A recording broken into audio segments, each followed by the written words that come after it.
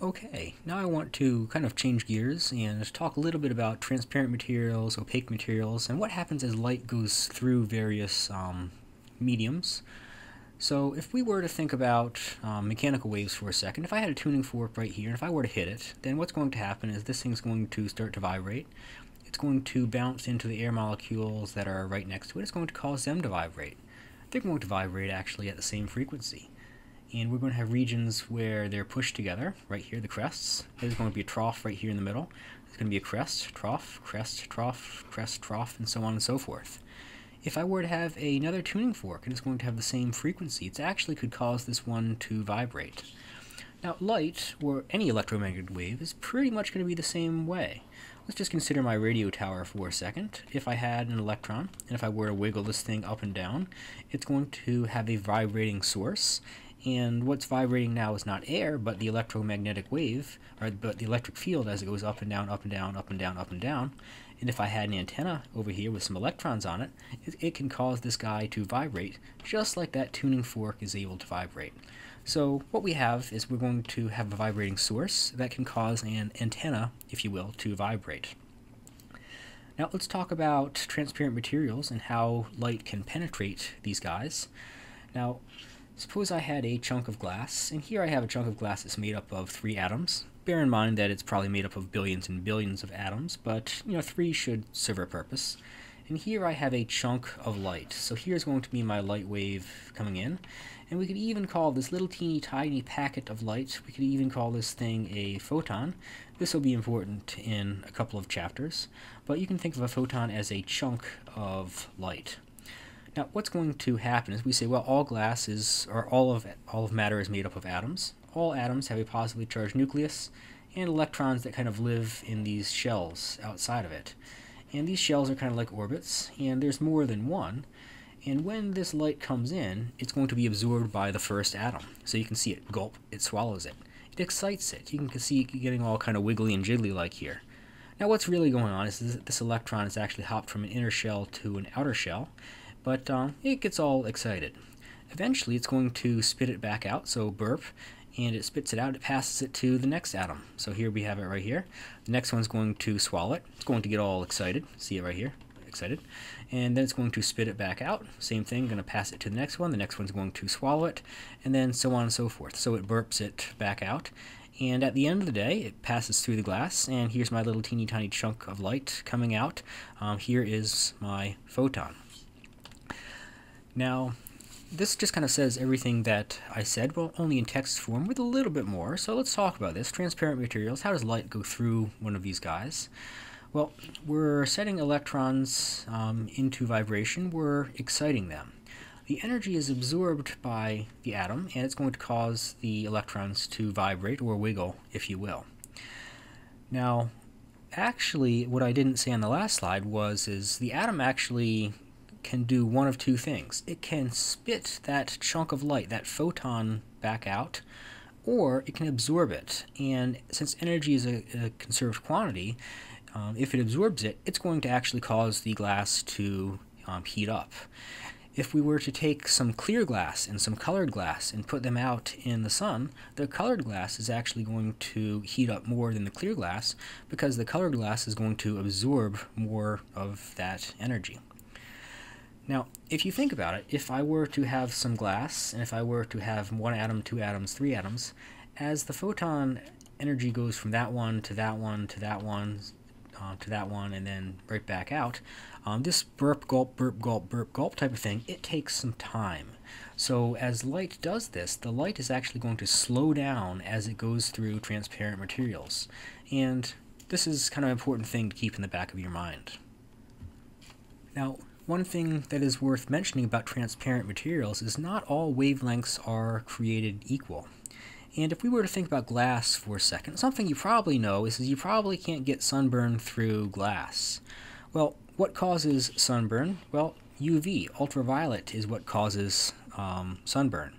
But ultraviolet actually can't penetrate the glass. The frequencies just don't work out. So it can't really cause the molecules to vibrate. The energy goes somewhere, it goes into actually causing the glass to warm up. Visible light can go through glass, And you can kind of see this is wiggling re relatively fast, um, ultraviolet. This is going slow. Infrared is going to wiggle even slower, and it turns out infrared can't penetrate the glass as well. So not all materials are created equal when we talk about transparency. Now, I did mention that as um, we had um, some glass, for example, that it takes some time for our energy from our photon to go from one atom to the next, to the next, to the next, to the next. And we could even say, how much does it slow down? Well, in a vacuum, we're going to say that the speed of light is going to be equal to c, which is 3 times 10 to the 8th.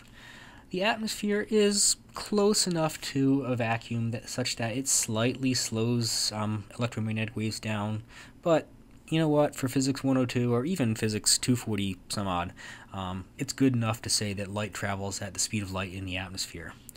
Water is going to slow it down such that what we're traveling at is going to be 3 quarters times 3 times 10 to the 8th meters per second. Glass is going to slow it down, although the type of glass actually matters. And diamond slows it down to less than half the speed of light. One thing to bear in mind is, here we're slowing light down. And again, 3 times 10 to the 8th is going to be the speed of light in a vacuum. This is meters per second. We cannot, cannot, cannot go faster than this. We can slow it down, but we can't go faster.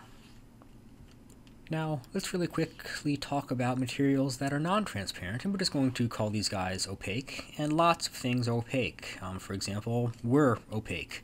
Um, this is going to be something that absorbs the light but doesn't re-emit it. So, you know, your physics book, your desk, your chair, people, stuff like that, we're all opaque. We can't see through these guys. These guys are not going to be transparent. What's going to happen is if we were to have a material that is opaque, then we're going we could have some light coming in and what's going to happen is we have some energy. Light um, is going to transmit energy from one place to the other and the vibration is going to turn this thing into kinetic energy, or more specifically into internal energy. And what this boils down to is for opaque materials that have light shining on them, the temperature is going to go up. Let's think about one opaque material, such as a metal. And metals are actually pretty interesting, especially one that would be shiny, like this surface right here. What's going on with that? Well, lots of metals tend to be shiny, and lots of metals tend to have free electrons. And if we were to have some light coming in at some frequency like this, well, these free electrons can wiggle up and down. So let's pick this guy right here. This guy's going to wiggle up and down at the same rate that this guy is. And actually it's going to, because it's free, emit something in this direction because a wiggling electron is going to cause a wiggling electric field, cause a magnetic field. And this is kind of why metals, or shiny metals, um, you can see reflection in them because they're emitting light because they have free electrons that can wiggle up and down. Now, let's kind of use this knowledge to explain something that you probably know, but maybe you don't know exactly why it is. Something that you know is, is dry surfaces tend to look light, wet surfaces tend to look dark. And let's talk about why that is. Suppose I were to have the sun, and if I were to have you kind of standing right here looking at the sun, you might see the light that reflects right here. And what's going on is, is the light's going to bounce directly into your eye from the surface. If, however, I were to put a coating of water on top of this, well, what's going to happen is, is we're going to now have this medium, and this medium has a couple of choices. It can reflect it, it can bounce it directly back to your eye, or it can absorb some of it. And as this light goes through this medium now, maybe it's going to bounce up and down, up and down, up and down, up and down. Every time it hits that surface, it's going to possibly lose some of that energy. It's got more stuff to go through, if you will. And when it bounces back to your eye, it turns out that it's lost some of that energy because some of that energy was absorbed by the water, and wet surfaces are going to look dark, darker than a dry surface. Now let's kind of get some jargon out of the way. Um, any opaque material is going to have a shadow. And if we just had a beam of light, we're just going to call this thing a ray. And if we had some light kind of coming like this, and if we were to put an object right here that is opaque, then essentially right over here we're going to be in what we're going to call the shadow region, a region where the light rays just pretty much don't reach something that is kind of interesting is, is it kind of matters how close or far away the object is from the source as well as the screen you're trying to illuminate it with. And if you don't believe me, uh, just get out a lamp and try this. If this orange was relatively close to um, the surface that we're sh um, shining the light on, we're going to see a surface, or we're going to see a shadow, and the shadow is right here, and it's going to have nice, pretty, crisp, clean lines if this object is really far away, so this one is going to be close, and this one is going to be far, it's also going to produce a shadow. And this is the shadow region where no light um, exists, but it's going to be a lot fuzzier. And we're going to actually put a name to this little teeny tiny fuzzy region right here on the next slide. If we're in a total shadow region, we're going to, going to call this an umbra, and the partial shadow, that fuzzy region, is actually called a penumbra. And again, it kind of matters how close an object is to how much penumbra we have versus how much umbra we have. Here we have something that is relatively close. You see a, a vase with some flowers, and you see a nice pretty sharp shadow. You move it further away, and you're going to see a little bit fuzzier, and you move it even further away, really, really, really far away, you see far more penumbra region. This is kind of regions where it's, you know, some light gets there, but not all of the light. So let's kind of finish off by talk about how we see light. Let's talk about um, the eye. Uh, what the eye does is the eye is going to let us perceive light, um, visible light, if you will. And I'm just going to talk about some of the pieces of it. Um, light's going to come in here through the cornea, which is in um, kind of the transparent cover of your eye. It protects it from all the bad stuff, if you will. And it's going to go through an opening called the iris. And then we have this little lens that's going to go ahead and try to focus this light down onto the back of your eye. Now, the opening of your eye is called the um, pupil, and it can um, dilate and expand as needed to let however much light um, in there that it needs. Um, if it's really bright out, your pupil is relatively small. We don't need a lot of light. But if it's dark out, your pupil gets relatively large because you want to collect as much light as you can. Probably not surprisingly, your pupil is going to be dark because we want it to absorb that light. Dark is a good our dark things are good absorbers of light. And it's going to go through the lens, and the lens is going to focus the light down onto the back of your eye. And if we want to have good clear vision, it needs to focus a nice clear picture on the back. We call the back of the eye um, the retina. And actually we have one very special region that's called the fovea, and that's going to be the most sensitive part, or the most, uh, the most sensitive part of the eye, where you have the best vision possible. Now, we do have this nerve, and this nerve is going to carry um, a signal um, to your brain. And where this nerve is, it's actually called the optical nerve, there's going to be a blind spot because where the ner nerve connects right here, um, we're not going to have any receptors that can receive the light. How do we receive the light? Well, what we actually have on our retinas, we're going to have two things. We're going to have rods and cones, and these guys both are essentially kind of like antennas. And what we could even kind of picture is, is much like a radio antenna, we could have some electrons, and as the light kind of comes in, it's going to wiggle these electrons up and down, and these things can turn this thing into an electrical signal, which we then send to the brain. Now, the rods actually handle low light, and they're also going to handle the black and white. And probably not surprisingly, we don't see colors very well when it's low light. We tend to see black and white. Um, the rods do this. Um, the cones actually handle the color vision and the detail, and they tend to be clustered closer to the fovea one thing to bear in mind is, is when we were if we were to damage these guys then unlike our skin for example our skin's going to grow back.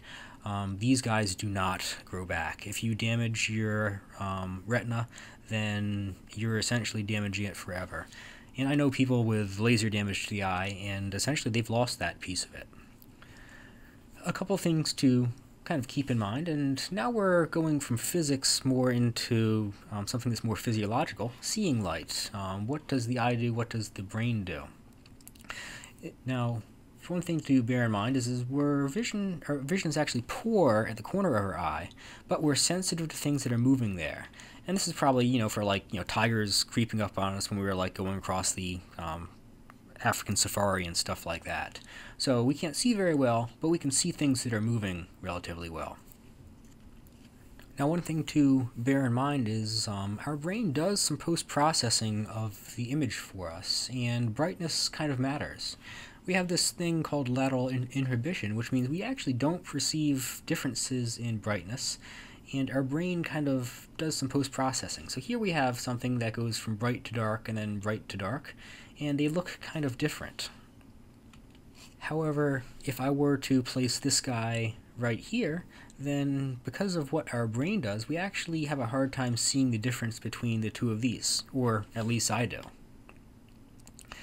Again, our brain does some processing. Here we have a line going through some other lines, and I don't know about you, but it looks kind of broken, but in reality, if you were to take a ruler and trace this thing, it's really not. Our brain does some processing for us that can kind of mess with us. Uh, here we have some dashes, here we have some dashes. Um, these guys look like they're different sizes, but in reality, if you were to get out a ruler and measure them on your screen, you would see that they're actually the same size. This is kind of another example of our brain messing with us, and I don't know about you, but you, but if I try to count the black dots, I see a bunch of black dots and white dots that kind of come back and forth. Again, our brain does some post-processing. I want to talk largely about the physics, but keep in mind that our brain, you know, our, the, the processing does come into a fat, does come into account, especially when we talk about like color and stuff. Um, here we have a hat, and ask yourself which one is wider. Obviously, if you were to measure them, they're probably the same. And if you try to read this, you probably see Paris in the spring. But if you read closer, you're going to see Paris in the the spring. So, some things to keep in mind. Are these lines parallel? Are they not? Um, I'll leave this one up to you all.